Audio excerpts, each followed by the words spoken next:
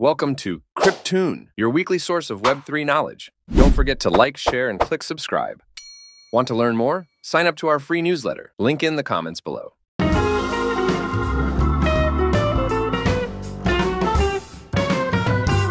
You heard about Overdare teaming up with Circle? They're shaking things up by letting game creators get paid in USDC directly in the game.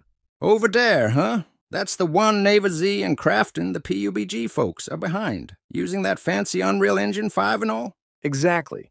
And they're not just about the tech. They're using NFTs to make the gaming experience something else. With Circle's wallet, creators can now earn stablecoin for their work. It's a big leap toward using crypto in everyday gaming. Sounds like they're paving a new road for creators to cash in on their work without the usual hassle. Plus, stablecoins mean their earnings won't be as wild as the crypto market.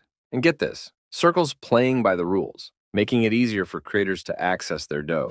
Overdare's CEO, Henry Park, and Circle's co founder, Jeremy Allaire, are both betting big on this moving digital entertainment to the next level. With all the buzz around blockchain gaming tokens lately, seems like they're onto something. Heard Pixel's value shot up big time after hitting Binance. Right? It's clear there's a future where game developers and players benefit more directly from their contributions. Overdare and Circle are just starting, but it looks like they're setting the stage for a whole new gaming era. Dude, have you caught that documentary, Five Months with Logan Paul? It's all about his CryptoZoo NFT mess. Paul's out there claiming it wasn't a scam, even though folks lost cash. Yeah, I heard. Paul's sticking to his guns, saying he bit off more than he could chew, but denying it was a scam. Claims he's out half a meal himself. Wild, right? He even mentioned hitting a real low point, thinking about ending it all because of the backlash.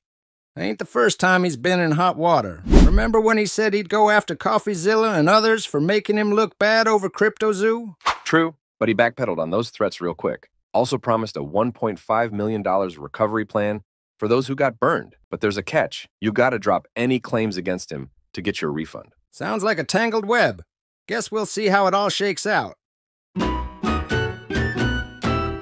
Hey, Clyde, did you hear about Snaky Cat's new deal? iCandy Interactive and Animoca brands are letting folks play for free and dishing out over 900K in Dollar Tower tokens as rewards. Free, you say? That's a nice change from the usual $300 tower tokens to play. Sounds like they're aiming to get more folks on board. Exactly. It's all about dodging obstacles and collecting food as a virtual cat. Plus, the Dollar Tower tokens you can earn are part of the bigger tower gaming ecosystem, like in Crazy Kings and Crazy Defense Heroes. Bringing back the old snake game, but with real rewards, huh? Clever way to mix a bit of the past with today's tech. They've even teamed up with Coinbase's L2 base to cut down on those pesky transaction fees and speed things up. It's a solid move for making blockchain gaming more accessible. Seems like Snaky Cat's leading the charge in this Web3 gaming wave, making play to earn a real thing for gamers. For sure, it's a game changer, showing how blockchain can spice up traditional gaming with some real stakes. Yo, Clyde, did you catch what's dropping at NFT NYC? Invienta Group's launching Mad Dog Jones's Fallen Gravity collection. They've got this panel speaking with extraterrestrials, NFTs in the galaxy. That's sounding epic. Heard a bit, yeah? They're diving deep into how NFTs are changing the game, opening up new worlds of opportunity, and making memories that last, all with a space twist and they're rolling out space centric NFTs with Mad Dog Jones, hitting us with animated artworks and even messages sent to space, man. Collectors even get a flight cert from the SS. That's out there. Fallen Gravity is about pushing boundaries, mixing art, music, and tech. Scott Cullither's talking big about launching this mission with Artemis Music Entertainment and Nifty Gateway. Totally. And there's this piece, Unknowable Dimensions, letting 500 folks mint unique NFTs, all vibing with star songs based on cosmic data. Space and art coming together, huh? Makes you think about the big picture. Mad Dog Jones and the crew are really shooting for the stars with this one. Did you catch that the whole liquid restaking scene's ballooned to almost $8 billion?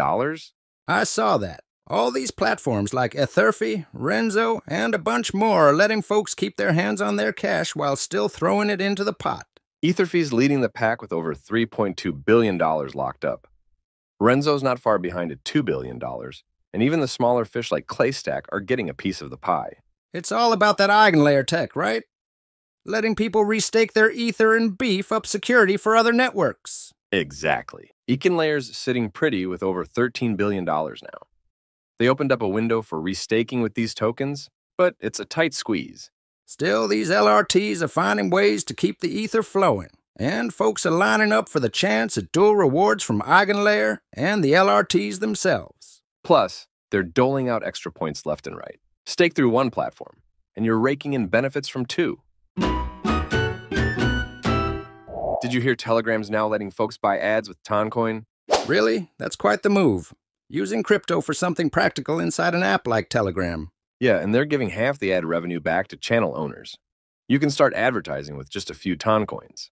Choosing where to place those ads too, huh? That's handy. And pulling out rewards without any fees is a sweet deal. Telegram's betting big on the Ton blockchain.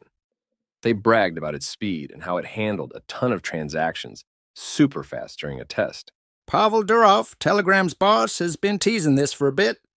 Said only a sliver of channels have tapped into ad money so far. Durov's thinking it'll start a cycle where creators reinvest in their channels or cash out. Toncoin's value even jumped a bit recently. Crypto making waves in the ad world. Times are changing, Jeremy. Welcome to Crypto Mumbo Jumbo Decoder. Today's slang HODL. Well, the slang HODL originated years ago from a simple misspelling by a fella named GameKyuubi on a crypto chat board back in December 2013. He meant to say he was holding onto his Bitcoin because trading wasn't his strong suit, but ended up tying hodling instead. This term caught on quicker than wildfire in dry brush, turning into a sort of battle cry for crypto enthusiasts to hang tight onto their investments through thick and thin storms and sunshine.